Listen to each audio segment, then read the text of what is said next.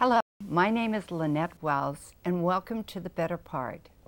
Today's program is One Man's Journey Through War and Life, and my guest is Charley Trujillo.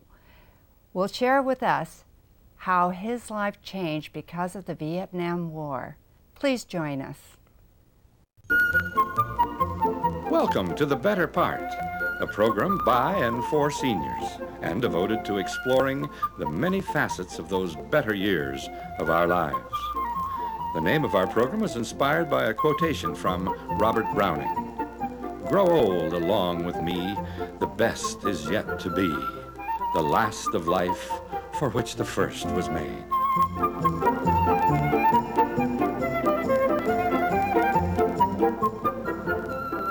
Now, sit back and enjoy a program made especially to provide seniors with useful information, plus some lighter moments to brighten your day. Charley, welcome to The Better Part. Thank you. You have such an interesting life. You've done so much. You've uh, gotten a Purple Heart and a Bronze Star. You've received a Bachelor of Arts at Berkeley, a Master's at San Jose State. You've taught interculture uh, studies at De Anza College, and you've written a wonderful book, uh, a very touching book. I uh, when I say wonderful, I mean that that's in a way of uh, a book that really people can learn from. And it's all about Vietnam, and it's called Soldados Chicanos in Vietnam. Right. Now, you were telling me that soldados means soldier. Yes. Your book is responsible for you becoming a publisher, doing a documentary on the PBS. Now you are doing a movie, but let's start at the beginning. You grew up in a small agriculture town in the San Joaquin Valley. Where is that? So it's a small town. Uh, it's uh, named uh, Corcoran. Uh huh. Corcoran, California. What was your family life like there? Oh, when I started out, we're, we're a family of farm workers. Uh-huh. Uh, my mother was a migrant farm worker. Uh, my father, they lived there in Corcoran, I think, since 1921. Oh, okay. like okay. And uh, well, we just growing up there. We lived in the farm labor camps, and then when I started school, we moved into town. And in 1968, I graduated from high school and I joined the military. Now, is how did you happen to write the book? Well, I was teaching at De Anza College uh, about 20 years ago, is when I first began the book. And I began to read those books uh, written by Vietnam veterans. And for the most part, Chicanos were not included or we were barely mentioned. I and I know that there was a, there was a lot of us. Uh, so I began to put the book together. Uh, and I did. I, I began to interview uh, those soldiers from my hometown. Uh, and then I just decided to, st- to stay there. And so uh, I put it together, and then I spent like three years looking for a publisher. Oh, my! And what? How did you get that resolved? What did you do? Well, as the dean told me, uh, Olivia Mercado at the time, she told me uh, that uh, I should do it myself. And so that's what I did. And I understand you've got a, quite a selection of people that are with you now that you're doing the public uh, publican. Yes, yes. I, I publish other people as well. I, I mean, I publish my own stuff, but I also uh, publish other people's, uh, and I, many of them would have a hard time being published. I basically started as uh, doing uh, Chicanos and Chicanas. However, now I am going into multi-ethnic literature as well. Oh, interesting, interesting. How did you know how to distribute your book? I, get it into the the bookstores and that sort of thing. How, how did you? Well, I Gather just that I just did the the grunt work, as they would say. Uh huh. I started going to conferences and uh, getting on radio and newspapers, where uh, articles, wherever I could uh, get on, and I uh, would also go to uh, conventions and and uh, book book fairs, and then actually most of my uh, half of my sales are for colleges and universities. Uh, they use them as textbooks. Oh, I see. You mentioned in your book that I thought was interesting that uh, the Department of Defense estimated that 83,000 Hispanics uh, fought in the Vietnam War, and that it really wasn't identified that they were Hispanics or Chicanos. Mm-hmm. Uh, what happened there? Can you explain that? Yes, well, the Department of Defense, uh, up to the Vietnam War, counted uh, Chicanos and Latinos as a whole, you know, Puerto Ricans and other Latinos, uh, as white. Oh, I see. Uh-huh. And the military was not desegregated until 1948, I believe. Uh, and then the, the black soldiers were able to uh, work with the white soldiers, but we as, as, as, as Chicanos were counted as white. Oh, I see. Mm-hmm. Okay. And that must have been quite a surprise uh, for the Chicano Mm-hmm. as well as the blacks, etc. But they classified you as white. Is Mm-hmm. that correct? Yes, just but just statistic and then statistics and sociologically, it's a lot different when you're there. Actually, Now I understand that you uh, your book won the American Book Award of 1991, and that must have made you feel wonderful since you had such a difficult time getting it published. How did, how did that change your life? well, uh, I mean, the book changed my life, of course, because I, I changed careers 1st of all. But uh, yes, I was pretty surprised that I got that award, and I think it just proved uh, to those companies and to people who said I, that it wasn't worth publishing that it was. I know when I went to the library to, to get the book, uh, it was only in the reference desk. You couldn't check it out. It was in just the reference section. And I found it interesting. You said earlier that uh, your book is mainly used for universities and colleges and things of that for the um, the interculture classes.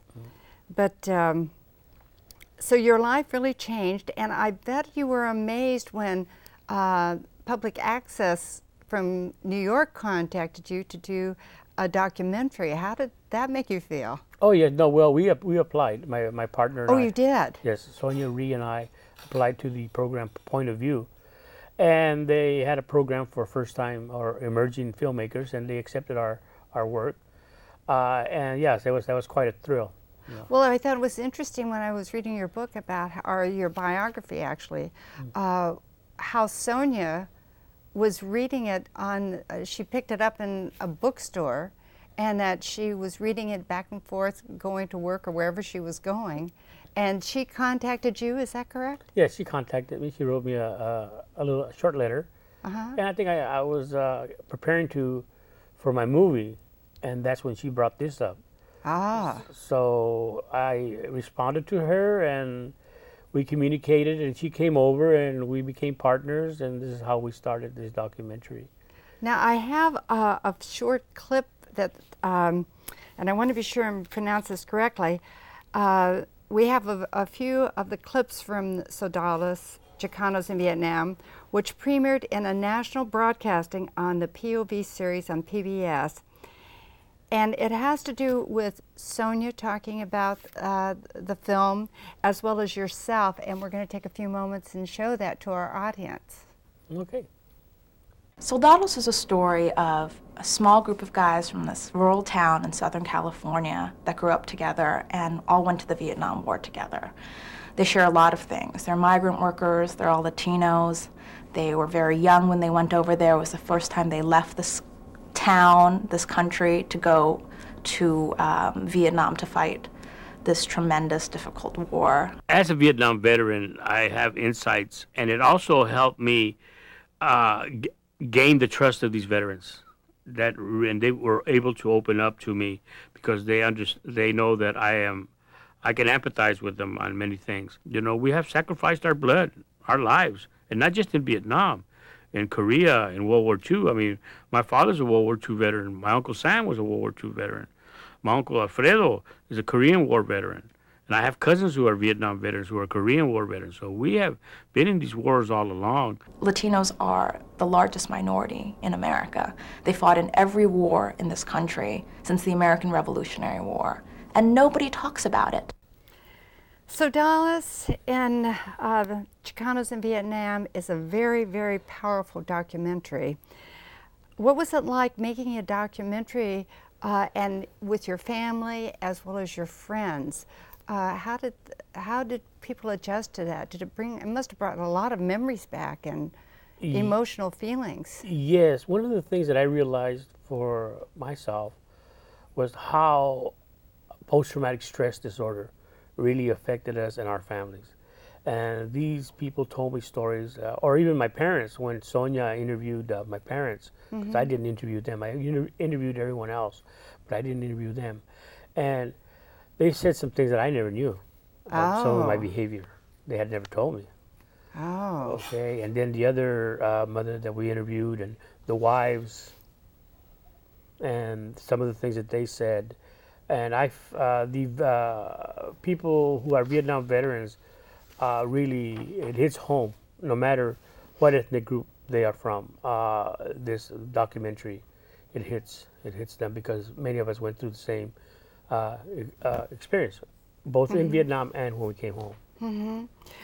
Well, there, we also have another clip that I feel that is important um, about how the, the war affected the, the families as well as um, the armed forces coming back. And there's one part about Mrs. Barara, I'm hoping I'm pronouncing her name correctly, whose son was killed in Vietnam, uh, and he was 19 years old, and a friend of yours and what soldiers had to face coming home. Um, and we're going to show just a, sh- a brief section of that also. See, I had uh, uncles in the Second War, and I seen how people treated them with a lot of respect. But when these kids came from Vietnam, it was a horrible thing. And I said, well, maybe it was better. Maybe it was better that he didn't come home because I don't think I could have taken it if I had seen him in a condition like I've seen a lot of these Vietnam kids.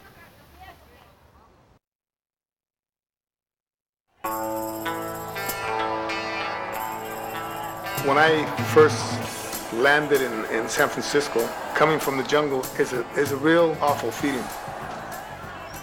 When we encountered the protesters, of course they had tomatoes and all kinds of stuff, so they started throwing them at us and calling us uh, murderers and child killers.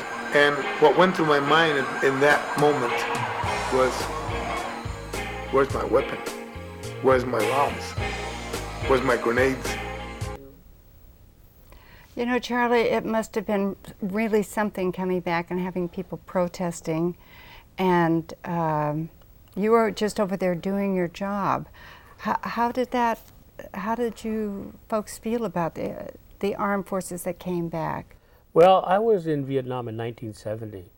So uh, there was uh, one of the things is that I'm now studying what happened after, uh, well, during that time and afterwards, was that the military was actually falling apart.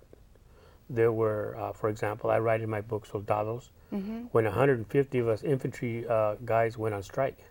Oh, Okay. Yes.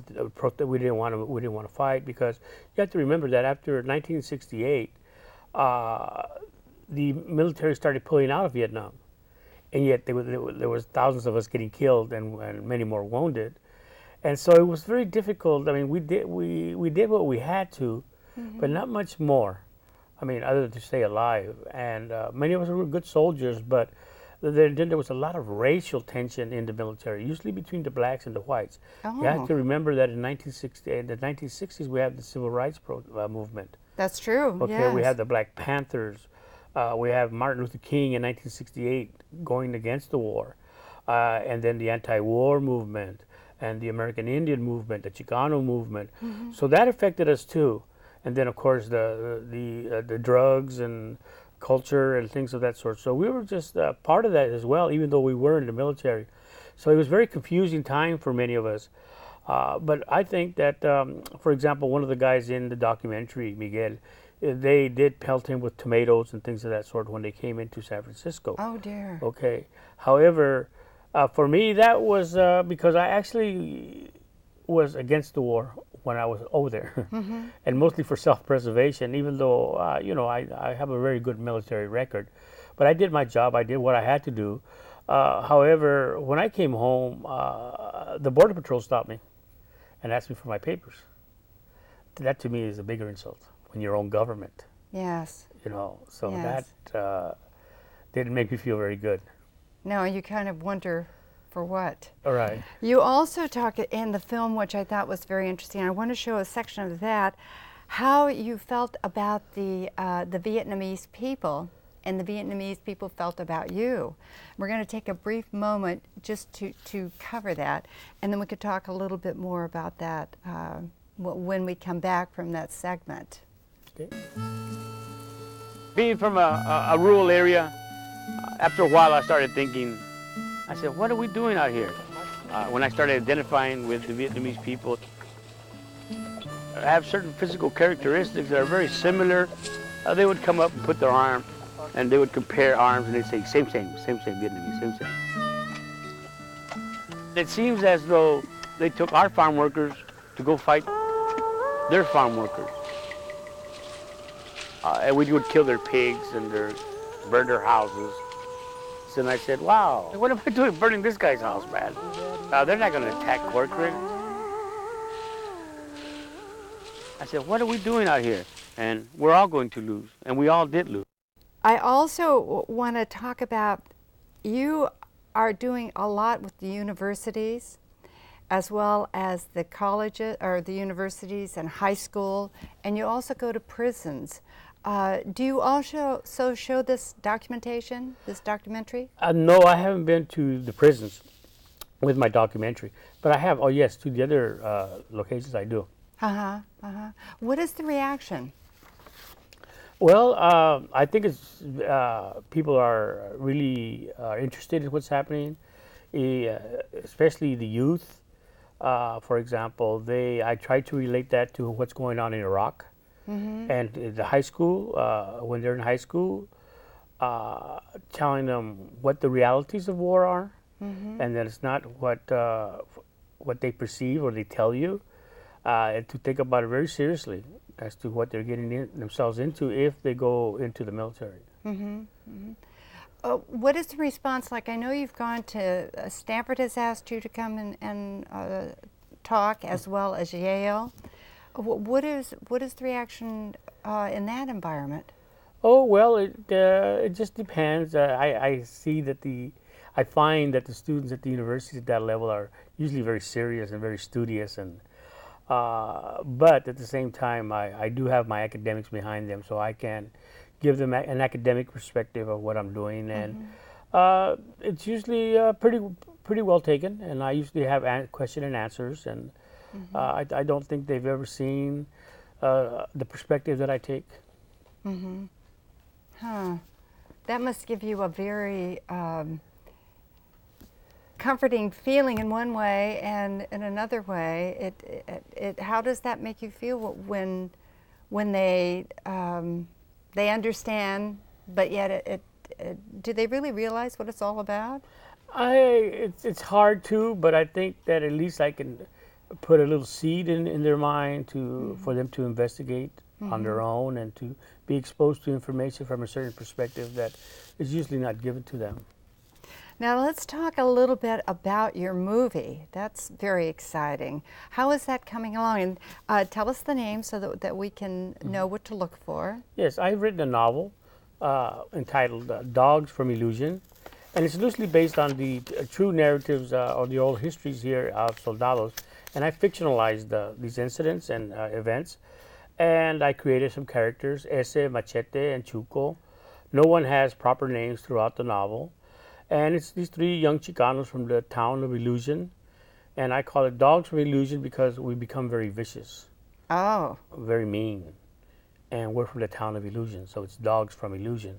Oh, I see. And in this novel, even though the three main characters are Chicanos, I also have black soldiers, uh, white soldiers, uh, Vietnamese soldiers, Puerto Ricans. Uh, uh, uh, I have a nurse, a woman nurse that comes in, uh, and I even have a gay soldier too. Oh, interesting. Interesting. Uh, Have you cast all the characters or? Well, right now we are beginning to shoot uh, a trailer, a five-minute trailer. Oh, I Uh, see. it's and uh, it's going to be an independent film, and I'm directing it.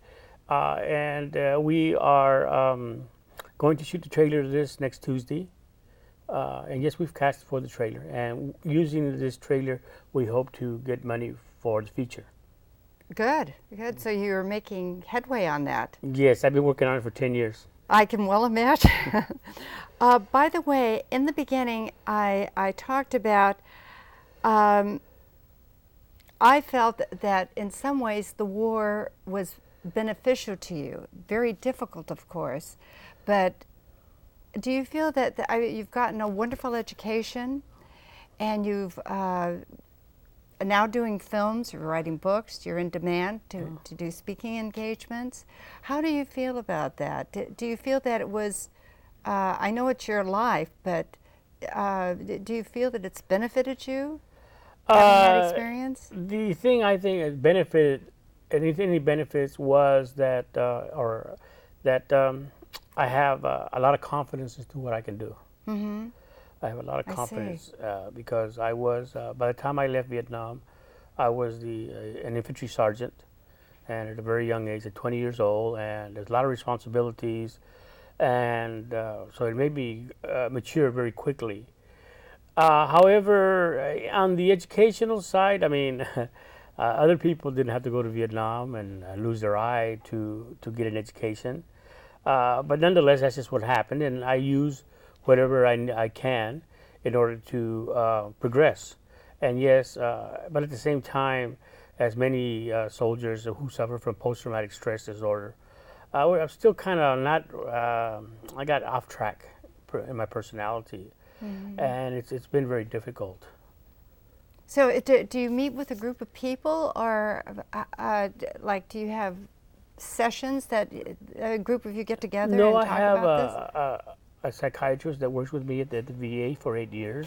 Oh, I see. Okay. Uh, I don't like being in groups. There are groups, Mm-hmm. but uh, what has happened is uh, I have convinced, I would say maybe 15, 20 Vietnam veterans to go for therapy.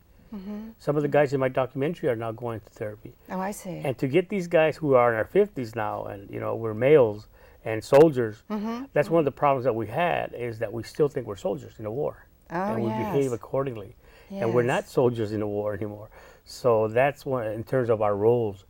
I so see. and then uh, there are many problems with that. Actually, uh, I'm going to uh, publish a book, a self-help book for veterans on how to get their benefits from a veteran's perspective, Uh-huh. from our perspective, not the VA's, and how to get their benefits. Because a lot of guys do not want to go. Well, that might be an, another part of a movie or a presentation we can give here on Yes. on our station too. This that would be very beneficial. Yes. Do you know? I wanted to ask you. You've done a lot of things in your life, uh, and so many people want to do things, but they never get to that first step. What do you feel that that has actually gotten you to get o- to accomplish so much? Well, basically, through, because of my family, Mm-hmm. uh, my mother in particular, who uh, we have a very strong work ethic. I see. You know, we began to I work see. when we were eight or nine years old. Yes. Okay, Yes. so getting up early in the morning, five o'clock in the morning, to go pick potatoes or go pick prunes. Yes. Yes. So we always had that work ethic, and so that uh, that helped a lot. Uh, and then I, I guess I've always been kind of ambitious. As always. Uh, I want to leave today's show with uh, one more segment from the documentary about um, the Vietnam, Vietnamese people, excuse me for that, and how um, uh, the colonel, who is Vietnamese, has a, a, a phrase that I think is very important, and we're going to take a moment and take a look at that. And his name is Colonel Win Du, and uh, I think that his words are food for thought. killing somebody is not the hard part. The hard part, man, is learning to live what you did. If you realize that you only went there to do a job, and if you learn to forgive yourself and ask the man to forgive you, everything will come out all right. Ask for forgiveness, and it'll come.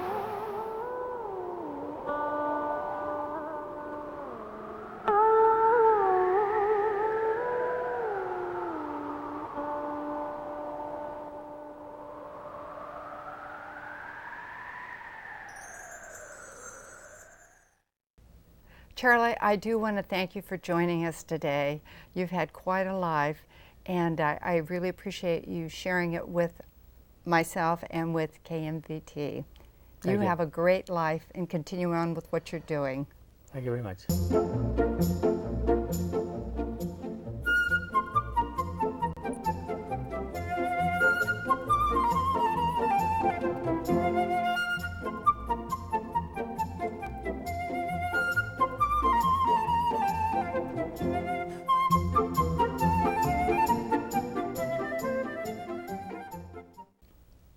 We hope you've enjoyed today's program. If you have a guest or a topic you would like to suggest for the better part, there are two ways to contact us the Cupertino Senior Center at 408 777 3150 or our website www.thebetterpart.com. And I might also mention if you have seen any of the programs in the past, you may also order them through our website. Thank you, and please join us again in the weeks to come. Bye for now.